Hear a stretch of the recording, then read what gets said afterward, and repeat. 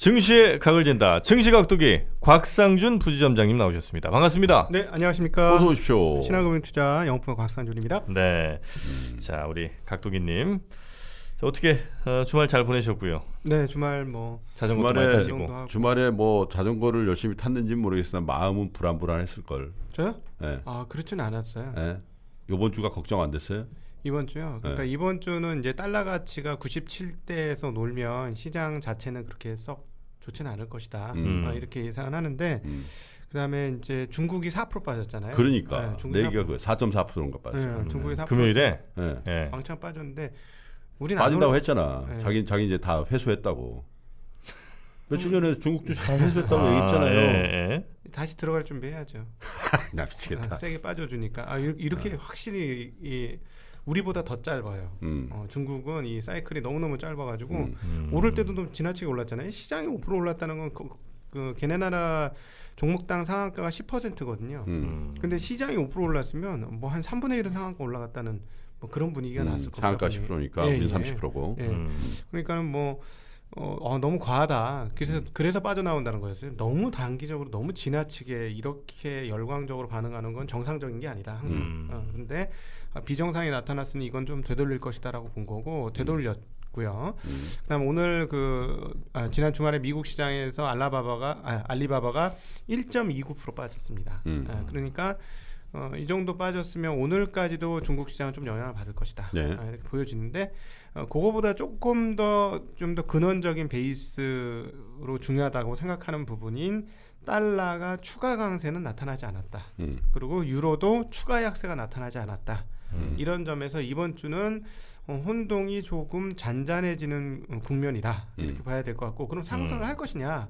이 부분은 아무래도 달러 지수가 97 언더로 떨어져 줘야만 어, 다시 어 다시 안전자산 선호 또는 달러 중심의 회기가 음. 좀 가라앉으면서 수급적으로도 좀 회복이 될 거고요. 즉 외국인들의 매도세가 좀 줄어들 거고 뭐 음. 뭐 그렇게 돼야 이제 시장은 오르지 않겠나 이렇게 보여지는데요.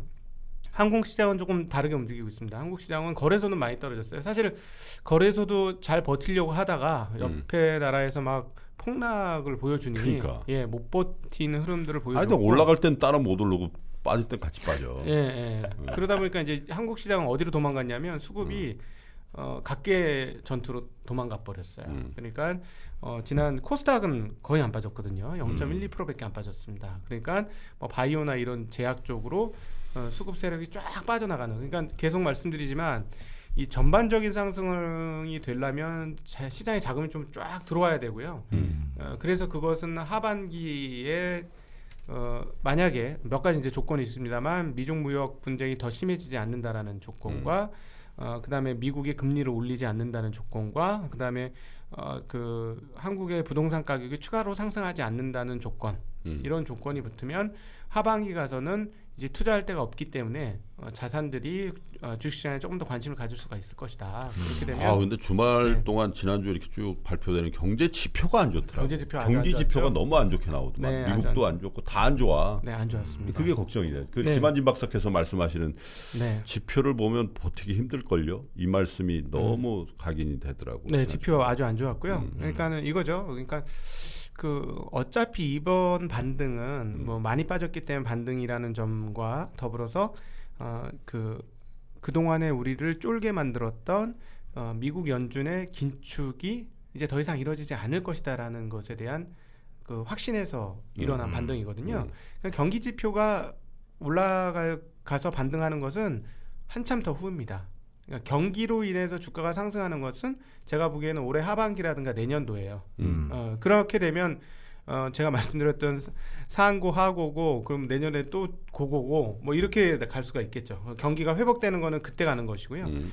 지금 장은 뭐냐면은 그동안 2018년 한 해 동안 우리를 짓눌렀던 음. 긴축의 그 이렇게 우리 목을 졸라 버렸던 긴축이 그걸 쓱 풀어주면서 손쉴수 있는 흐름들을 보여주는 것이 상반기가 될 가능성이 높은 것이고 네. 어, 거기서 어, 추가적으로 긴축 안 한다는 확신이 있으면 투자자들이 이제 음. 새롭게 용기를 내면서 위험 자산으로 뛰어들 가능성이 있다라는 것이죠. 음. 1, 2월 달에 일부 좀 나타났던 것이고 음. 그러나 이제 작년도에부터 이제 우리한테 넘겨져 오는 경제 지표들은 좋을 리가 없는 거죠. 음. 예. 그거 경제 지표가 좋을 거라서 시장이 상승할 것이다. 그렇게 생각한 사람들은 없을 것 같아요. 투자자들 중에서. 음. 그래도 예. 이제 경제 지표는 악화되나 그 악화되는 속도와 정도가 예상보다 심한데 그러면 네.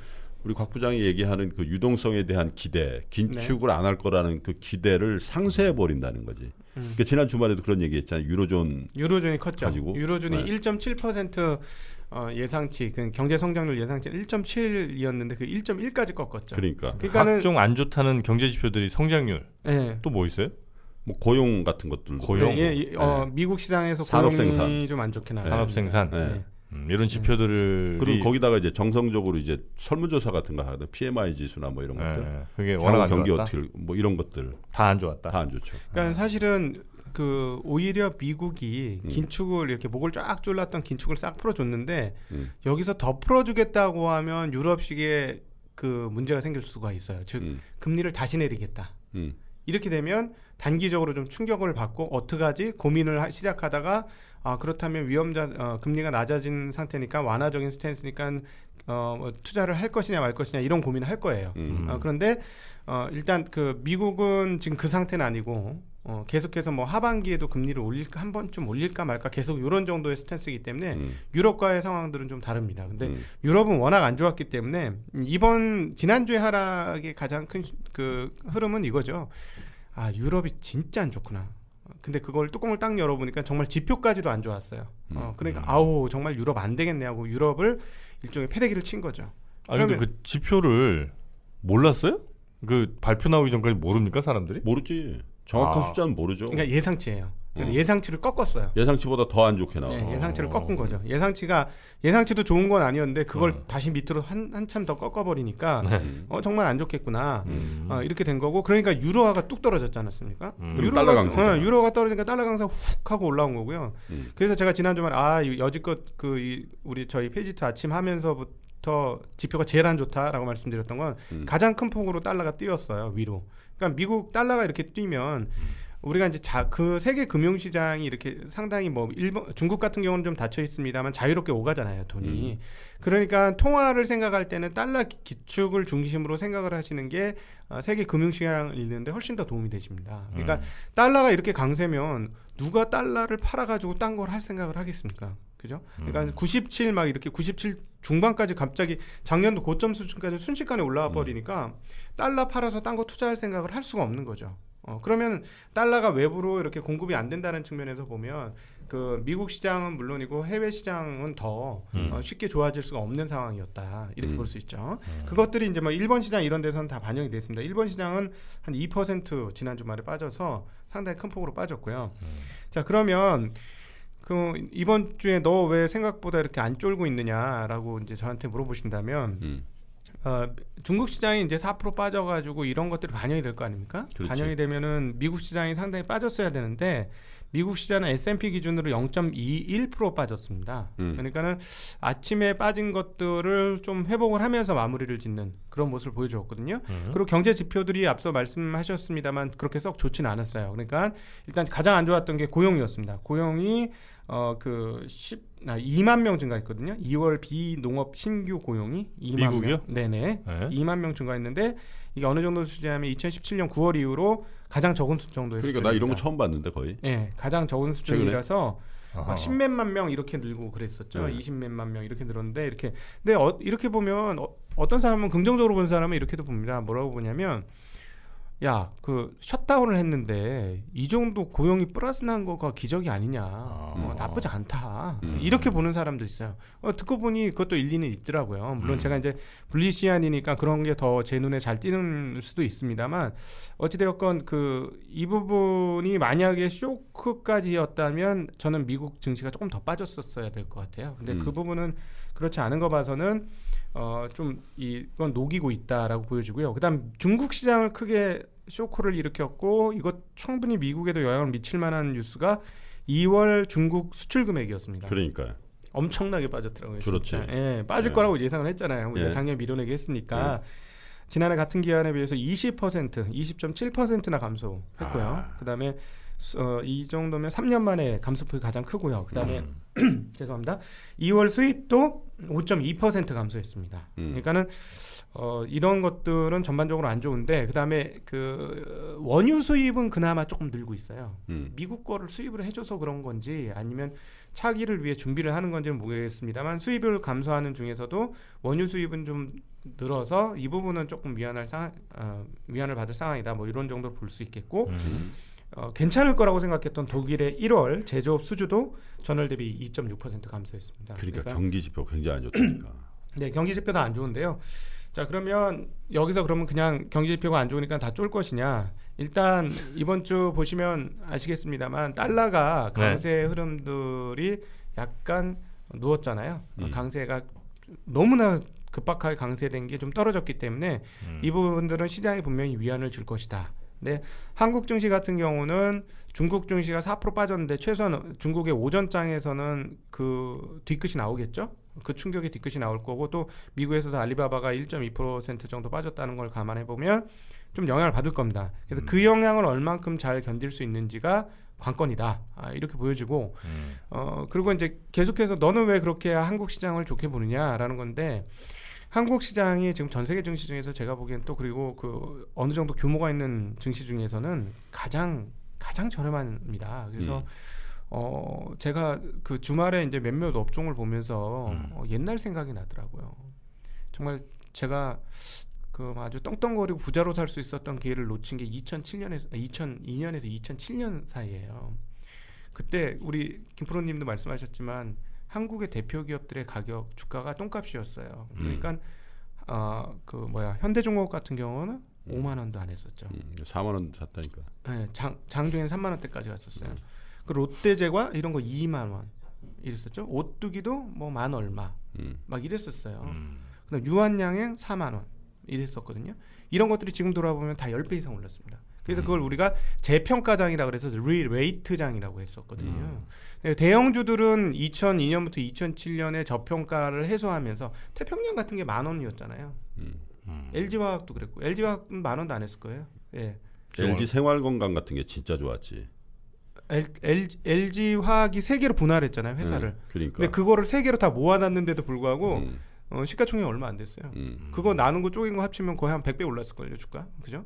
그러니까 어, 그런 기업들의 re-rate가 있었습니다. 2002년부터 2007년. 그래서 근데 이번에 이제 주말에 기업들 이렇게 살펴보니까 옛날에 제가 이제 자동차 부품주들 엄청 싸다고 말씀드렸었는데 자동차 부품주 싼 건 하루 이틀의 문제가 아니었고 옛날부터 계속 지속되는 그런 모습이었는데 어, 지금 아무도 관심 없는 업종 중에 하나인 건설 업종 중에서 중소형 건설주들이 음. 물론 건설주는 조금 좀 분위기 잘 파악하셔야 됩니다. 왜냐하면 사업을 너무나 크게 하기 때문에 그러니까 레버리지가 너무 큰 사업이기 때문에 한 번 잘못 단추를 끼우면 한꺼번에 얻어맞거든요. 그 음. 적자도 그냥 몇 년치 적자가 한꺼번에 터지고 이런 어, 어, 흐름이 있긴 있습니다만 퍼가 2, 3, 4 이런 중소형 건설사들이 너무나 많아요 지금. 어. 그러니까 어 이거는 조금 심하다. 그러니까 여러 업종에서 아 조금 지나치게 좀 싸다라고 여겨지는 그런 업종과 종목들이 굉장히 많이 나타나고 있어요. 네. 음, 그런 측면에서 보면 대형주들에 대해서는 시장 영향을 안 받을 수 없으니까 해외 시장 영향을 안 받을 수 없으니까 좀 고민은 할 수밖에 없는데 예. 그럼에도 불구하고 한국의 대표적인 반도체도 주식들이 지난 한 해를 통해서 충분히 조정을 받았고 어, 올해 올라가 온 것도 일부 음. 반납을 했고 그다음 뭐 자동차들은 올라온 적도 없고 그다음 조선은 작년보다 좀 올라왔습니다만 하반기로 갈수록 실적 흐름들은 조금 더 좋아지고 음. 어, 자동차도 뒤로 갈수록 지금보다는 실적 흐름들이 좀 좋아지고 뭐 이런 것들을 감안해 보면 어, 기업의 내재 가치 측면에서 해외 시장이 우리를 흔들고는 있습니다만 내 마음까지 같이 흔들릴 필요는 없는 어, 그런 장 아니냐 어, 음. 개인적으로 이렇게 생각을 합니다. 그 혹시 주식 하는 분들이 네. 대체로 다 야 오늘 달러는 뭐 97이구나 아니면 뭐 알리바바가 1% 넘게 내렸구나 아니면 뭐 중국 네. 시장이 뭐 이, 이거를 다 이렇게 계산하면서 보통 투자들을 하, 하시는 분들이 많습니까? 근데 원래 해야죠. 원래 해야 어, 되는 원래 거예요? 해야 되는데 어. 잘안 해요. 어, 그러니까 사실 냉장고 살 저는 때 이런 걸 한 번도 생각해 본 적이 어. 없어서 그래서 원래 다른 뭐 원래 한 뭐 주식하는 사람 90%는 이렇게 원래 하는지 아니면 아 90%는 안 하죠. 90%가 그거 안 하니까 제가 자꾸 얘기하는 거예요. 그럼 아, 하라 그쵸? 하시라고. 아, 근데 네. 지금 그런 거 90%가 하지 말라는 분들도 많죠. 왜요? 서준식 부사장이라는 분들은 그거 알아서 뭐 하는데?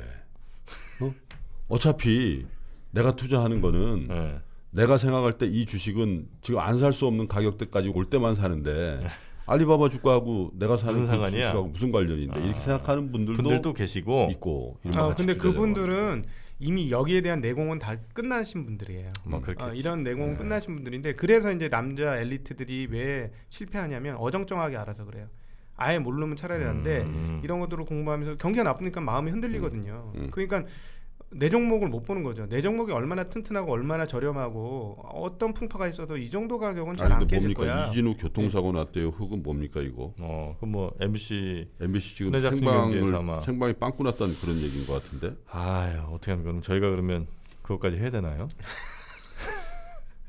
아니 그 MBC 생방송 연결해 교통사고. 났으면 얼마나 다쳤는지가 걱정이지 이 사람아 그 아니 또이 이 방송도 기다리시는 분들이 많이 계시니까 접촉 사고겠지 접촉 사고. 아, 지금. 뭐 네. 강변북로 접촉 사고 오늘 많았다고. 아, 그래요? 네.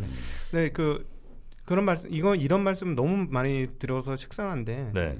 냉장고 살 때한 음, 두세 개 회사 제품 비교하지 않습니까? 음. 소비 전력이라든가 음. 뭐 이런 거 다 비교하잖아요. 음.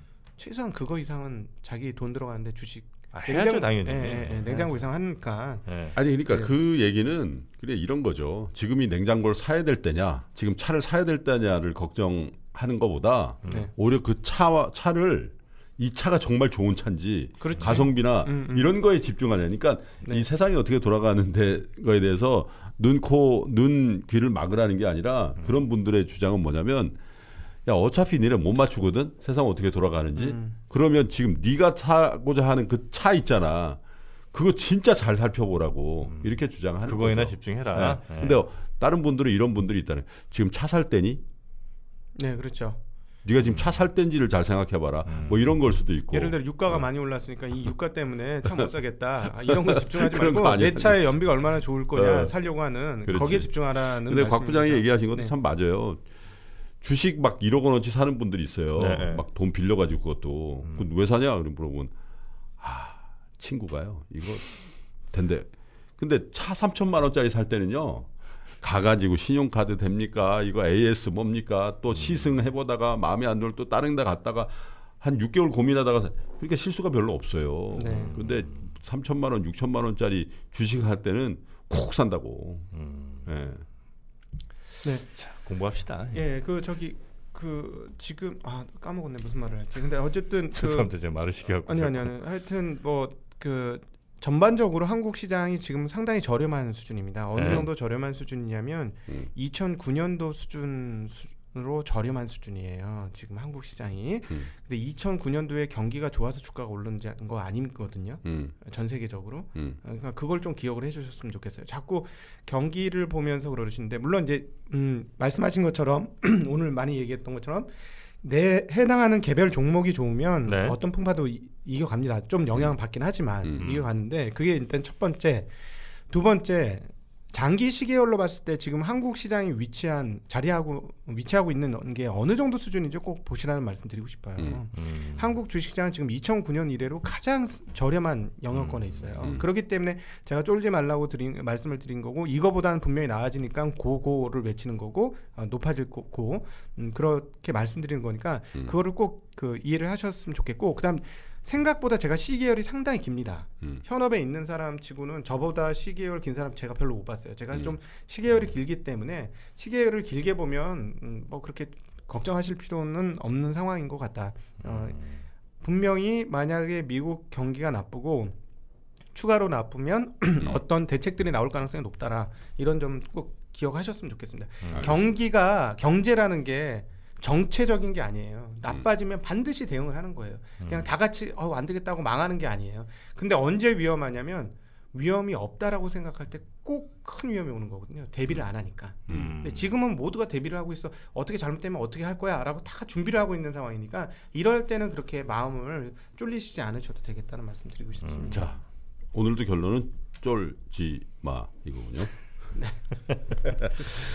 그나저나 자. 빨리 우리 방송 마치고 네. 이프로한테 전화 한번 해봐야 되겠네. 그러니까 안전 확인을 네. 좀 한번 해봐야 되겠어요. 이제 아 방송 그리고 하나 하나 예, 예, 이거는 예. 꼭 얘기 드려야 될 것 같은데 뭐 미중 무역이나 이런 거는 각자 알아서 한번 살펴보시고 음. 노르웨이 국부 펀드가요. 글쎄 네. 그거 안 한다며 투자. 네, 석유 시추 기업 투자 대상에서 제외할 거라고 했습니다. 글쎄 왜요?